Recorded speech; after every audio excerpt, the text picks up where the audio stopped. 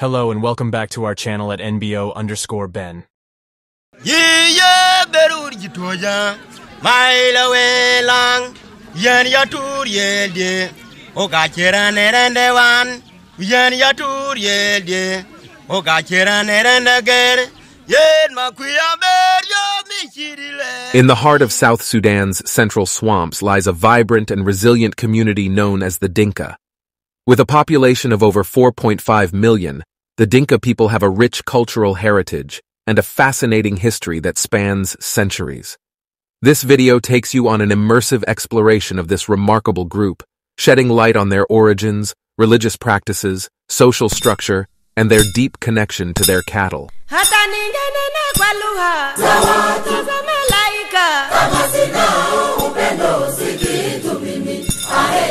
The origins of the Dinka people are deeply rooted in the vast savanna country surrounding the central swamps of the Nile Basin. Their migratory history is a testament to their adaptability and resilience in the face of changing landscapes.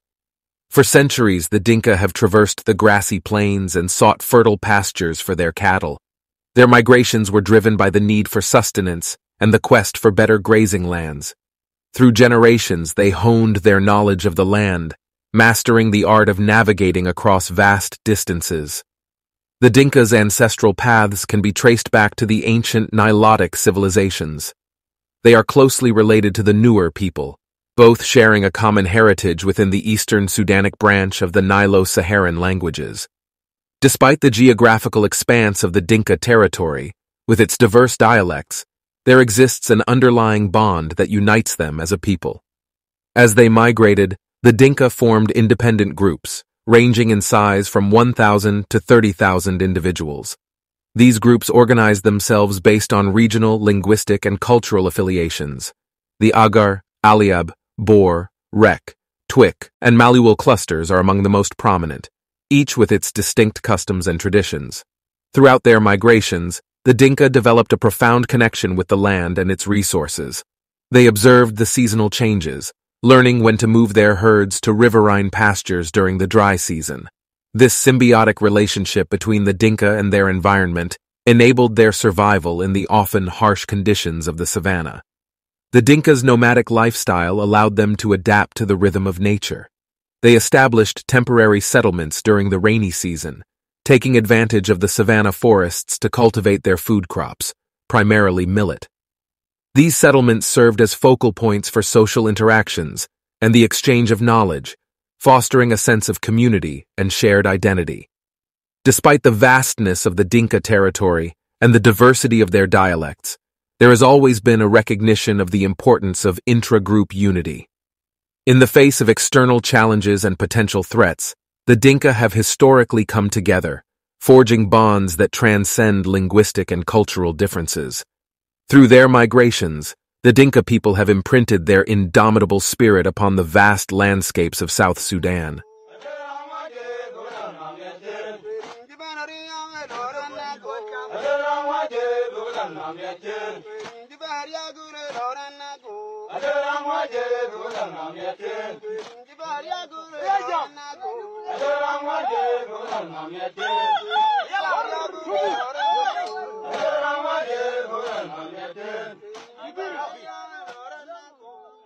The physical appearance of the Dinka people is as striking as their rich cultural heritage. Renowned for their tall stature, they stand as a testament to the diversity of human physiognomy. The average height of the Dinka is notably above the global average, with many individuals surpassing 6 feet, that is 1.8 meters and above. This remarkable height has often captured the fascination of outsiders and intrigued anthropologists, sparking debates about its origins and significance. Various factors contribute to the remarkable height of the Dinka people. Genetics undoubtedly play a role, as tall parents tend to pass on their height to their offspring. However, it is important to note that not all Dinka individuals are exceptionally tall, as there is still a range of heights within the population. Apart from genetic factors, nutrition and environmental conditions also contribute to the physical development of the Dinka. The abundance of fertile grasslands and access to nutritious food sources have traditionally provided the Dinka with a balanced diet, essential for healthy growth.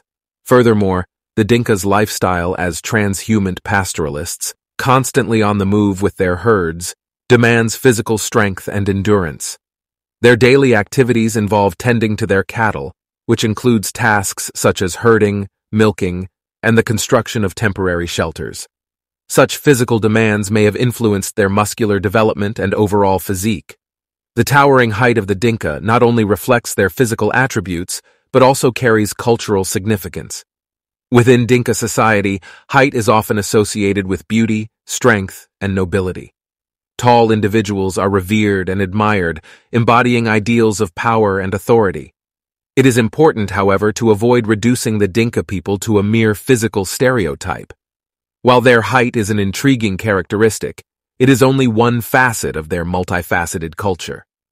The Dinka possess a wealth of traditions, customs, and values that define their identity beyond their physical appearance.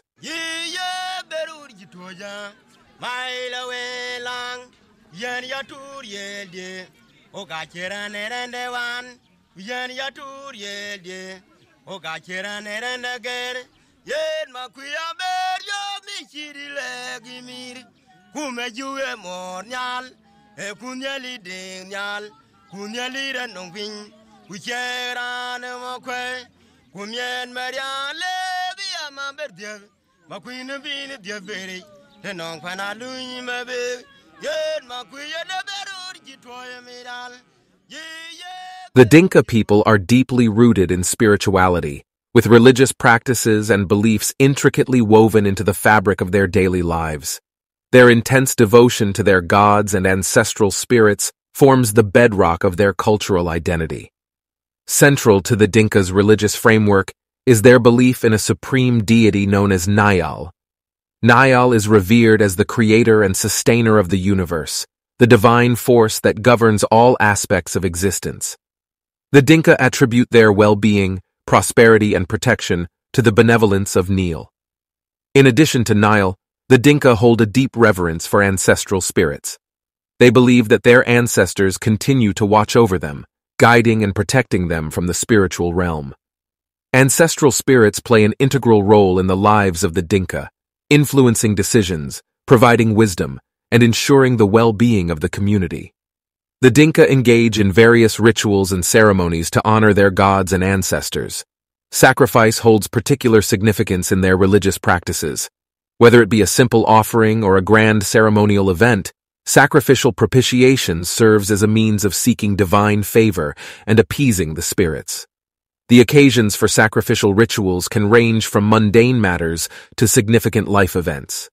The Dinka believe that any transgression, from a lie to a murder, can disrupt the delicate balance between the human and spiritual realms. Therefore, rituals of propitiation are conducted to restore harmony and rectify any disturbances.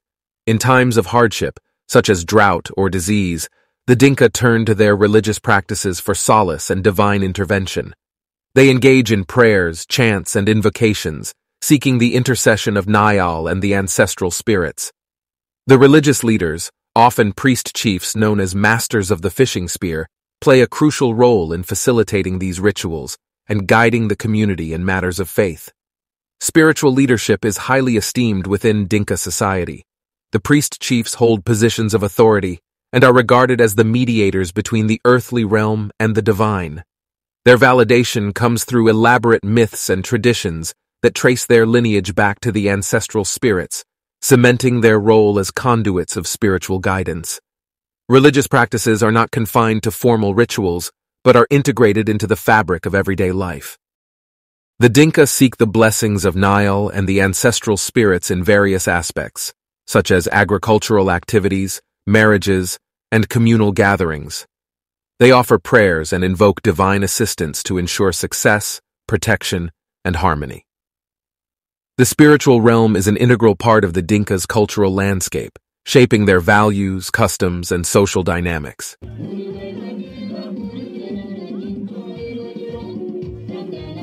The transition from boyhood to manhood holds a special place within Dinka culture marked by age-old ceremonies that shape the identity and roles of young Dinka males.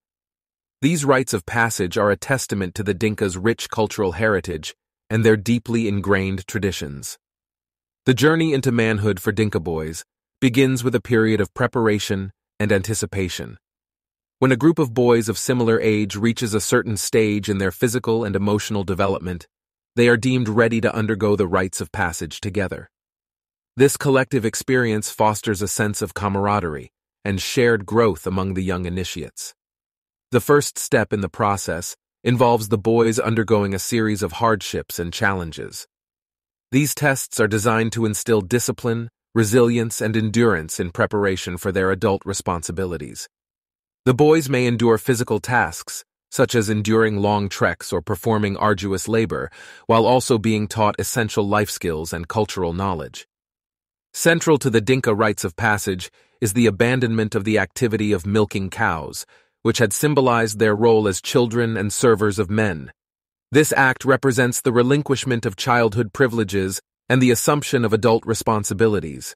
It marks the threshold between dependency and autonomy, as the young initiates step into the realm of adulthood. Once the trials and preparations are complete, the Dinka boys are ready for the culminating event, the ceremonial celebration of their transition into manhood.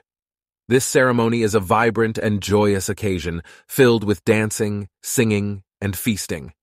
It serves as a public affirmation of their newfound status and a recognition of their growth and maturity. During the ceremony, the boys are adorned in traditional attire and intricate body decorations, reflecting their elevated status within the community. Elders and respected members of the community officiate the event, offering blessings, guidance, and words of wisdom to the initiates. Through these rites of passage, the Dinka instill a sense of responsibility, respect, and duty in their young men. They are taught to embody the values of courage, integrity, and communal harmony. The rites serve not only as a personal transformation, but also as a means of upholding the social fabric and cultural continuity of the Dinka community. The significance of these rites of passage extends beyond the individual. They strengthen the intergenerational bonds as the older members pass on their knowledge and traditions to the younger generation. This cyclical process ensures the preservation of Dinka culture and the perpetuation of their cherished customs.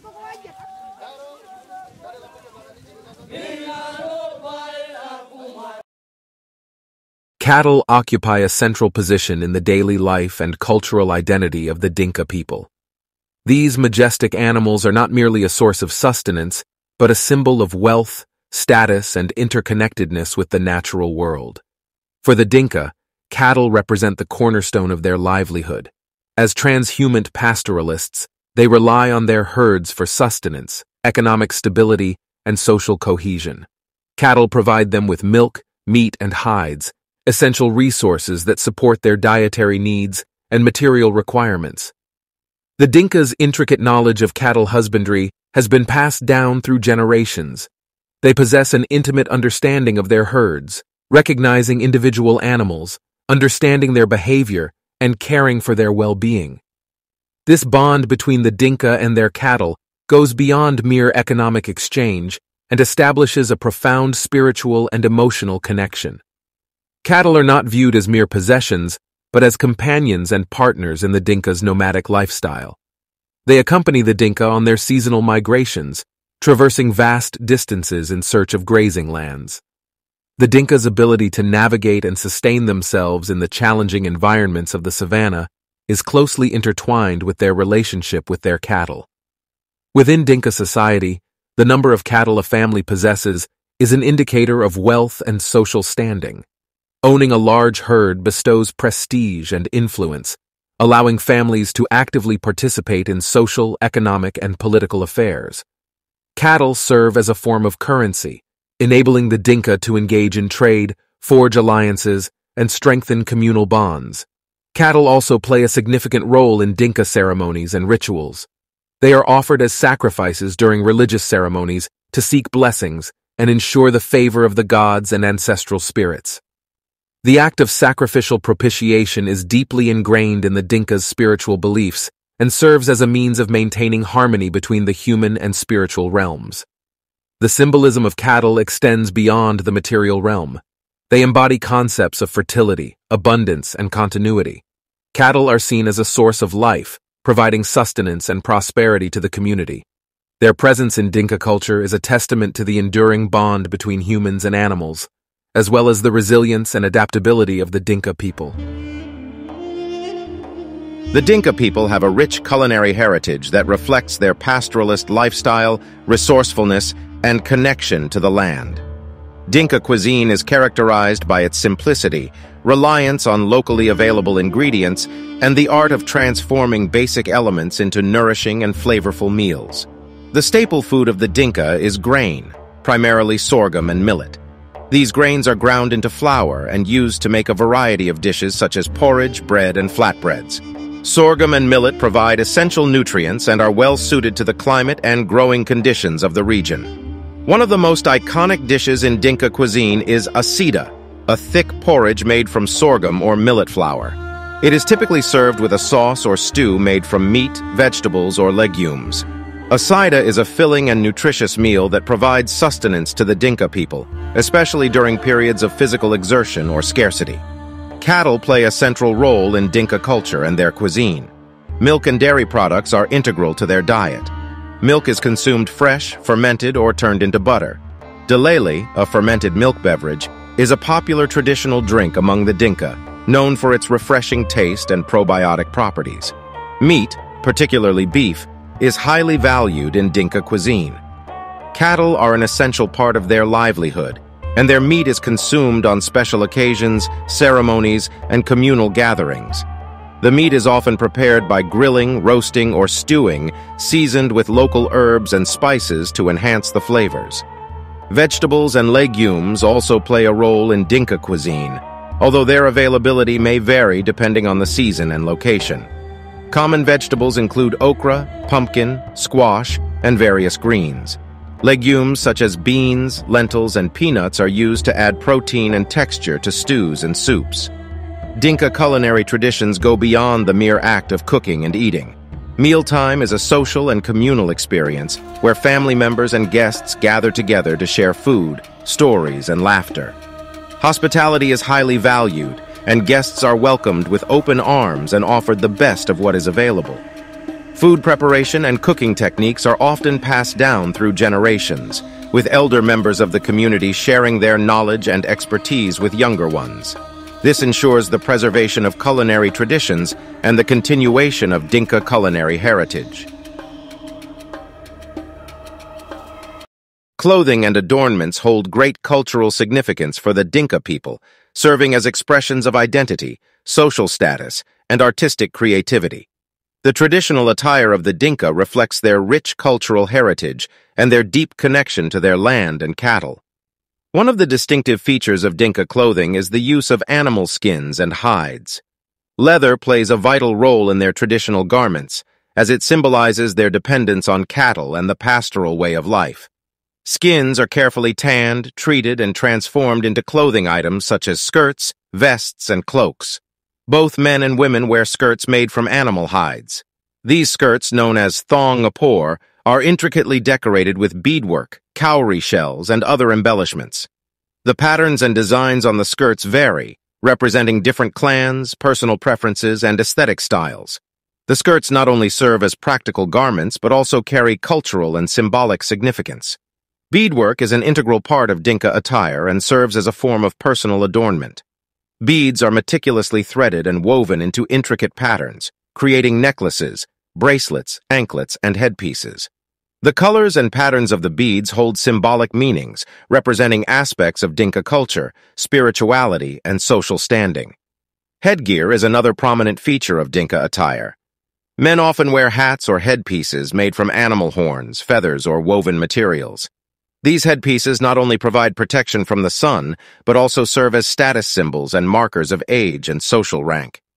Women, on the other hand, adorn their heads with beautifully crafted hair ornaments and jewelry, enhancing their beauty and femininity. Dinka clothing is not limited to traditional attire alone. Modern influences and changes in lifestyle have introduced new clothing styles, such as Western-style clothing and fabrics. Even with modern adaptations, the Dinka people continue to embrace and incorporate elements of their traditional clothing, ensuring the preservation of their cultural identity. Adornments and clothing choices play a vital role in social interactions and ceremonial events. They convey messages about one's age, social status, and clan affiliation, helping to establish and maintain social bonds.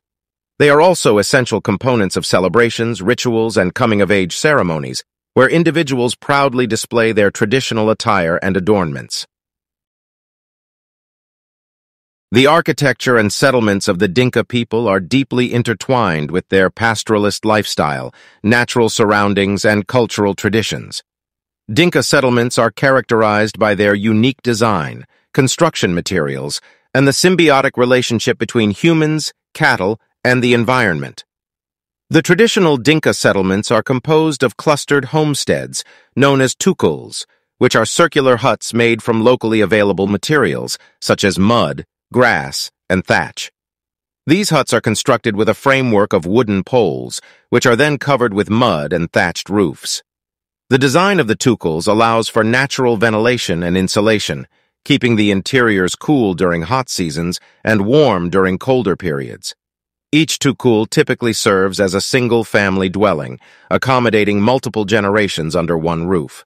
The size and number of tukuls within a settlement vary depending on the family's social status, wealth, and the number of cattle owned. Wealthier families may have larger settlements with multiple tukuls, while smaller families may have only one or two.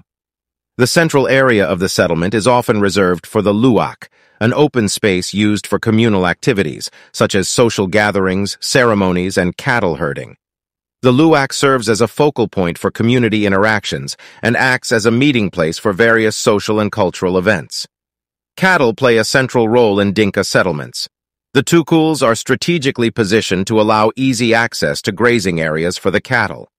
The proximity of the homesteads to water sources, such as rivers or watering holes, is also essential for the well-being of both humans and livestock.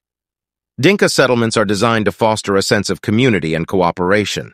The close proximity of the tukuls encourages social interaction and facilitates the sharing of resources, knowledge, and support among families. The communal nature of the settlements promotes a strong sense of unity and collective responsibility within the community.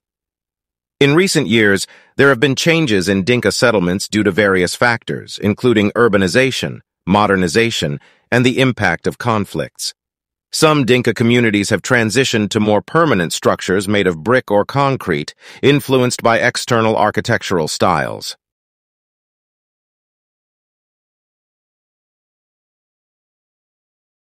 The Dinka people celebrate a myriad of festivals and ceremonies throughout the year, marking important milestones, honoring ancestral traditions, and fostering social cohesion within the community. These festivals are vibrant displays of cultural heritage, spiritual beliefs, and communal joy, bringing together people of all ages to participate in rituals, music, dance, and feasting. One of the most significant festivals among the Dinka is the Rainmaker Festival, which is celebrated during the rainy season. This festival is dedicated to invoking the spirits and deities associated with rain and fertility, as rainfall is crucial for the success of their agricultural endeavors and the well-being of their cattle. During the Rainmaker Festival, prayers, dances, and offerings are made to ensure bountiful rains and prosperous harvests. The cattle blessing ceremony is another important celebration in Dinka culture. It is held to honor and bless the cattle, which are considered sacred and a vital source of livelihood for the community. During this ceremony, the cattle are adorned with colorful beads, painted markings, and special ornaments. Ritual dances and songs accompany the ceremony, symbolizing the close bond between humans and cattle. The coming-of-age ceremony holds great significance in Dinka society, marking the transition from adolescence to adulthood. Young boys and girls undergo rites of passage, which include a period of seclusion, instruction in cultural values, and physical tests of endurance. Upon completion, a celebratory ceremony takes place, where the initiates are recognized as adults and are welcomed into the community with joyous festivities. Music and dance play a central role in Dinka festivals and celebrations. The beating of drums, the rhythmic sounds of traditional instruments such as the tom, newar, and kwar fill the air, setting the tempo for lively dances. The Dinka people, dressed in their vibrant traditional attire, form circles and perform energetic dances, accompanied by songs that recount their history, express joy, and invoke blessings. Feasting is an integral part of Dinka festivals and celebrations. Traditional dishes such as asida, grilled meat, and a variety of stews are prepared in abundance. Families and neighbors come together to share meals, fostering a sense of unity, generosity, and communal harmony. These festivals and celebrations serve as important occasions for the Dinka people to reconnect with their cultural roots, reinforce their social bonds, and express their gratitude for the blessings of life. They are a time of joy, reflection, and renewal, where the community comes together to honor their shared heritage and embrace the values that have sustained them for generations. In recent years, efforts have been made to preserve and promote Dinka festivals and celebrations, not only within the local communities, but also on a broader platform. Cultural festivals and events showcase the rich traditions, music, dances, and culinary delights of the Dinka people, fostering cross-cultural understanding and appreciation. With this newfound understanding, let us embrace the spirit of unity, diversity, and cultural appreciation as we navigate our own paths, inspired by the timeless traditions and enduring spirit of the Dinka people.